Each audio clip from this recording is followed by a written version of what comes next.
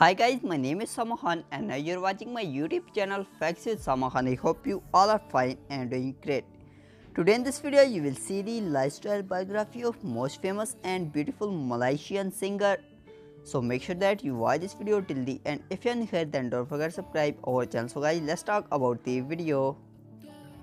Her famous name is Baby Shima.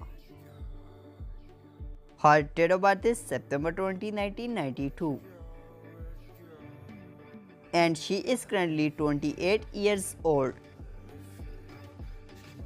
She is born on Permas Jaya, Malaysia and her nationality is Malaysian. Professionally, she is a singer. Her eye color is black and her hair color is dark brown.